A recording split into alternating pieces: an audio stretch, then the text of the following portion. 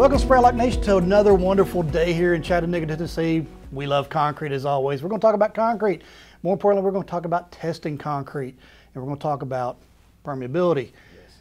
Except for the test really isn't a permeability test. It's we're going to talk about EN 12390-8. It's water penetration. Sure, and that's an important distinction. Uh, we found that EN 12390-8 is a European standard testing uh, water penetration under hydrostatic pressure, we found that it is a nice test for figuring out uh, how a certain concrete compares to another concrete. Right.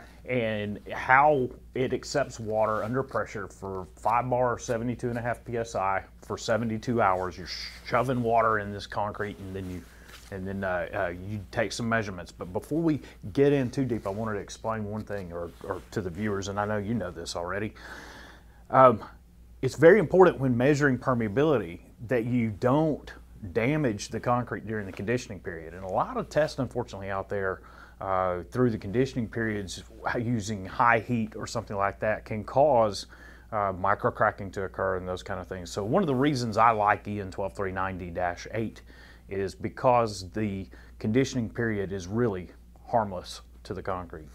So we stick the, we take concrete cylinders. Yep typically, or cubes if you're of the European uh, school of thought where you make giant cubes.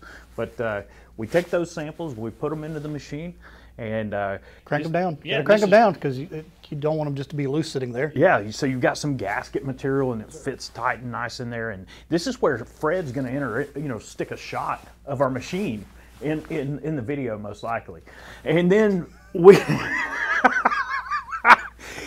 and then you, you turn the air pressure on, you shove the water in, you leave it sitting for 72 hours, and then what do we do?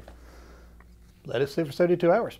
No, uh, one thing you forgot to mention is if there's a failure. Oh, yeah. So if water comes out the side, water comes out the top, you stop the test immediately.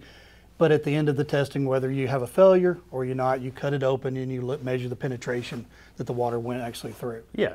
And that's how we're actually getting the water penetration. And the difference between it and permeability is while we do know a, a depth, we're not actually getting true water movement all the way through it. Right. So we're not able to get a K value because the, the timing is not precise enough, the volume of water is not precise Yeah, enough. like you would with a soil sample, for instance. Right. Yeah. So uh, from that information, we can we can make some informed decisions on on how the concrete is is performing in, in, a water penetration kind of situation and, and compare dif different technologies one to the other on what is helping to stop that water under hydrostatic pressure from getting into the concrete as deeply. Because that's what we want. Yep. want water to stop getting into concrete, bring contaminants in. Oh yeah, that's right. All right, thank you so much for watching. We really love making these videos, and I'm, i hope you enjoy watching them. Please comment down below, and uh, or send us an email, uh, visit our website, and uh, or call Josh on the phone. And uh, with that, we'll see you next time. Thank you.